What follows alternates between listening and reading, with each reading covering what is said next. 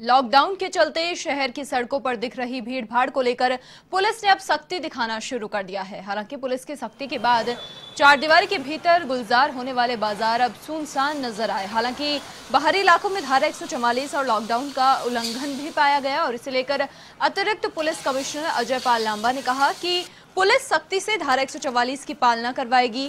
हालाँकि लॉकडाउन को लेकर किस तरह जयपुर की चार दीवारी में हालात बने हुए हैं, इसे लेकर हमारे संवाददाता यादविंद्र शर्मा ने जायजा लिया।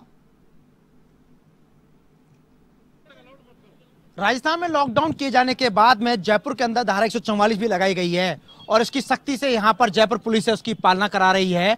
और तस्वीर में आप देखेंगे, मैं इस समय बड़ी चौपड़ पर हूँ और बड़ी चौपड़ पर आप देखेंगे, पूरा जो बाज़ार है चार दीवारी का इस चार दीवारी के बाज़ार में यहाँ पर सन्नाटा पसरा हुआ है। मगर कुछ पागलपंथी कहेंगे इसको लोगों की या यहाँ के आमजनों की कि इक्का दुक्का जो वाहन है, वो यहाँ पर जो प्राइवेट निजी वाहन है, वो यहाँ से सड़कों पर निकल रहे हैं, घूमते हुए नज़र आ रहे हैं, तस्वीरों में नज़र आएँगे, आपको देखिए हेलमेट लगा करके ज़रूर गुजर रहे हैं। ये इक्का दुक्का ही कुछ वाहन है, मगर यहाँ पर जो जयपुर कमिश्नरेट की ओर से धारा एक सौ चौवालिस भी लगाई गई है, उसकी यहाँ पर सख्ती पालना भी कराई जा रही है।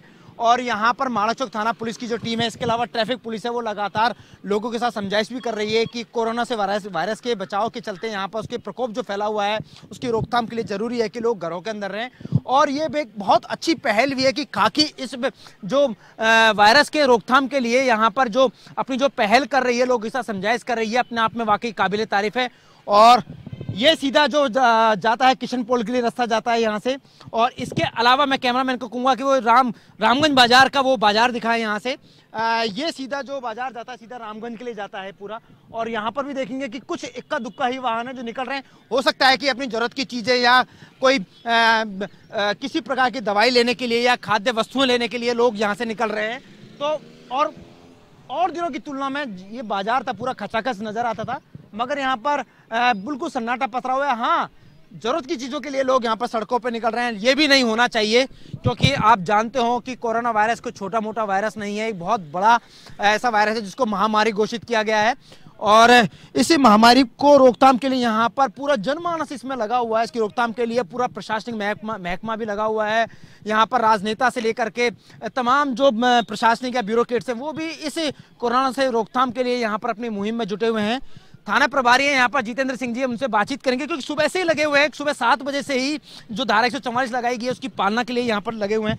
सर किस तरह का आप नज़ारा देख रहे हैं यहाँ पर? क्या लग रहा है कि कल जनता कर्फ्यू था और आज उसके बाद धारा एक सौ चौवालीस भी कल लगा दी गई थी और उसकी पालना की जा रही है? किस तरह करवाई रहे हैं ये Jaipur police commissionerate, Rajasthan police, Rajasthan सरकार की तरफ़ से जो धारा एक की लगाया गया है, उसकी पूर्णतः पालना करवाई जा रही है। लोगों को समझाइश की जा रही है, लोगों को कहा जा रहा है, लोगों को मैं आपके चैनल के माध्यम से अपील करता हूँ कि अपने घरों में रहें। जब तक अति आवश्यक नहीं हो, तब तक घरों से बाहर नहीं निकलें। क्योंकि आप जिस तरीके से अनावश्यक रूप से घरों से बाहर निकल रहे हैं, ये खतरे से खाली नहीं है। आपकी एक लापरवाही आपके परिवार को, आपकी एक लापरवाही आपके परिवार को खतरे में डाल सकती है। क्योंकि जिस तरीके से आप बाज़ार में देखने के लिए कुछ लोग निकल रहे हैं, ये कतई उचित नहीं है। पर्याप्त मात्रा में राशन सामग्री है, पर्याप्त मात्रा में दूध की सप्लाई ये सब चीज़ों की होगी। लेकिन बिल्कुल सही तरीके से निकलें। अनावश्यक रूप से बाज़ार में नहीं निकले, क्योंकि वायरस का खतरनाक संक्रमण है। आप इसकी भयावहता को समझे, अपने आप को गंभीर करें। आपकी छोटी सी लापरवाही बाज़ार में बिना मतलब का घूमना आपके परिवार के लिए जानलेवा साबित हो सकता है। Please please and please support the system. Sir एक धारा एक सौ चौवालीस के लिए लगातार आप देख रहे होंगे वाहन निकल रहे हैं। देखिए कैमरामैन को कूँगा तस्वीरें दिखाए। लोग निकल रहे हैं अभी भी। हालाँकि इन्होंने मास्क लगाया हुआ है। लेकिन सर आ, कितना ज़रूरी हो जाता है लोगों के लिए सारी चीज़ें? और धारा एक सौ चौवालीस लगा दी गई 200 पॉइंट निर्धारित किए हैं नाकाबंदी के। कितने लोगों के खिलाफ कार्रवाई की गई? जी, धारा एक लगाने का मुख्य उद्देश्य मेडिकली आधार के ऊपर लगाया गया, जिसमें कानून की पालना करवानी है सख्ती से पालना करवानी है। लेकिन दंडात्मक कार्रवाई की जगह, हम समझाइश के माध्यम से लोगों को ये समझाना चाह रहे हैं, धारा एक का उद्देश्य पाँच से ज़्यादा लोग एकत्रित नहीं हो, अनावश्यक रूप से भाड़ नहीं करें। किसी भी प्रकार के सभा, प्रदर्शन, जमाव इनके ऊपर रोक लगी हुई है। तो पालना ये करवानी है कि आप अनावश्यक रूप से बाज़ार में नहीं निकले, आपको अति आवश्यक है तो ही करें। कुछ स्थानों पे जो पब्लिक ट्रांसपोर्ट को हमने बंद किया गया था, लेकिन उसके बाद में नहीं मान रहे, उनको जब्त कर रहे हैं हम लोग। हमने जब्ती शुरू कर दी है और बिल्कुल पब्लिक को बिल्कुल पोलाइटली विनम्रता के साथ, लेकिन सख्त कार्रवाई की जाएगी। धारा एक की अक्षरंश पालना करवाई जा रही है। एक एक मुख्य बात ये कि लोग समझेंगे नहीं जब तक कैसे इस धारा की सख्ती से पालना करवाई जाएगी। आप ये मानते हैं? लोगों की भीड़ जो निकल रही है, क्या क्या कहना है लोगों का? उसमें क्या कुछ, क्योंकि आज सार- सरकारी दफ्तर बंद हैं प्राइवेट उपक्रम जितने भी हैं फैक्ट्रियाँ सारे बंद हैं, फिर क्यों निकल रहे हैं? बातचीत तो हो रही होगी लोगों से बात हो रही है। बिल्कुल आप चारों तरफ़ से, आप चाहे तो आपने कैमरामैन के माध्यम से दिखा सकते हैं। कहीं अनावश्यक रूप से भीड़ नहीं है। सिर्फ़ वो लोगों की भीड़ है जो अस्पताल से संबंधित है, जो मेडिकल शॉप से संबंधित है, डिपार्टमेंटल स्टोर से, दूध से। ये छोटी मोटी भीड़ तो रहेगी। लेकिन इनको भी समझाइश की जा रही है कि आप अपना काम करके तत्काल अपने निवास पर चले जाएँ। अनावश्यक रूप से बाज़ार में नहीं घूमें। हमारी जयपुर कमिश्नरेट की समस्त टीमें, सभी मोबाइल गाड़ियाँ, सभी बाज़ार में कंटिन्यू अनाउंसमेंट कर रही है। ज़्यादा से ज़्यादा अपने घरों में रहें। अनावश्यक रूप से बाजारों में नहीं घूमें। आपके चैनल के माध्यम से मैं राजस्थान की समस्त जनता से अपील करना चाहूँगा, अनावश्यक रूप से बाज़ार में नहीं घूमें। आप अपने सोशल मीडिया के क्रेज के चक्कर में, फ़ोटो के चक्कर में अनावश्यक रूप से बाजारों में नहीं आए। अति आवश्यक होने पर जिस समय आपको राशन का सामान लेना है, सब्ज़ी लेनी है, दूध लेनी है, उसी समय बाज़ार में निकले और तत्काल निकल काम करके अपना वापस चले जाएँ। ये संक्रमण बहुत भयावह है।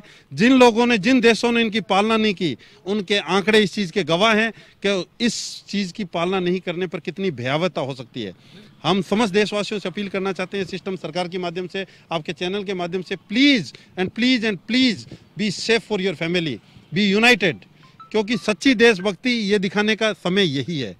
बिल्कुल सच्ची देशभक्ति दिखाने का जनमानस में ही अपनी सच्ची देशभक्ति दिखाने का वक्त यही है क्योंकि कोरोना वायरस है, काफ़ी घातक वायरस है। यहाँ तक कि प्रधानमंत्री नरेंद्र मोदी ने भी आज ट्वीट किया है, ट्वीट के माध्यम से लोगों से ये अपील की है कि लॉकडाउन किया गया है। इस लॉकडाउन का आप सख्ती से यहाँ पर पालना करा राज्य सरकार से अपील की है। सरकार से अपील की है यहाँ पर, प्रशासन से अपील की है कि जो लॉकडाउन किया गया, उसकी सख्ती से पालना किया जाए। और नतीजा यही है कि यहाँ पर जयपुर पुलिस पूरी सख्ती से यहाँ पर खड़े होकर के धारा एक सौ चौवालीस है लॉकडाउन जो किया गया है, उसकी यहाँ पर पालना करा रही है। कैमरा पर्सन रामकिशन सैनी के साथ Yadvindra Sharma A one TV news Jaipur.